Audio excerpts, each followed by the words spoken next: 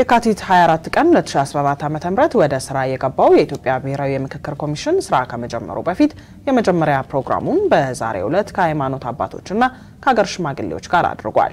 እኛም ለሀገር ውስጥ ዝርዝር ዜናችን መጀመሪያ አድርገነዋል።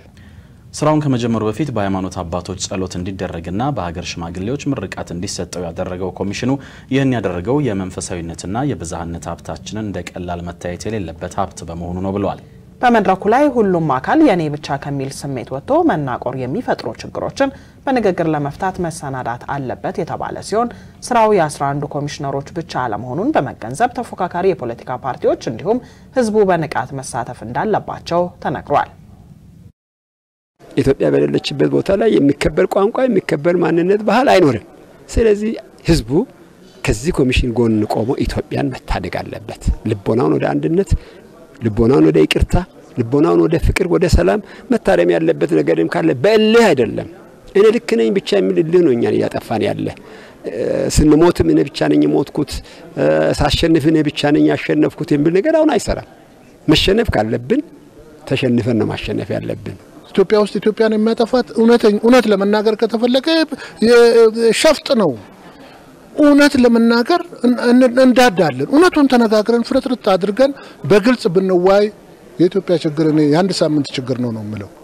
ከተደማመጥን፣ ከተግባባን፣ ይቅር ለእግዚአብሔር ከተባባል፣ በእግዚአብሔር መንፈስ ከሄድን፣ ጸጋችንን ይዘን ለእግዚአብሔር አድረን እውነተኛ ልቦና ሰጥተን ለእርቅ የምንዘጋጅ ከሆነ እግዚአብሔር በጣም ቅርብ ነው።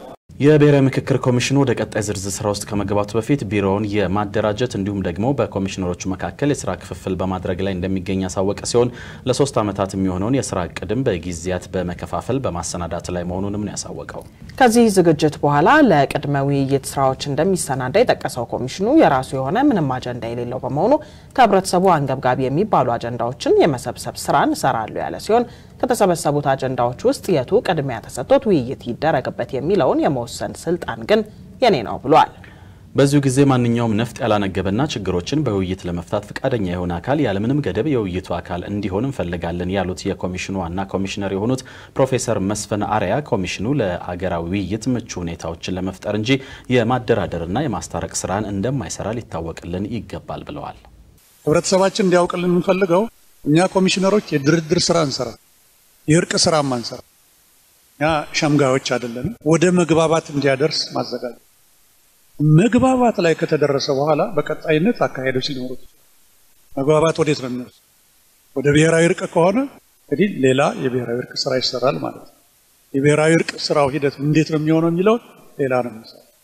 ስለዚህ እነኚህ ሁሉ ነገሮች በጣም በእናንተ ውስጥ ግልጽ መሆን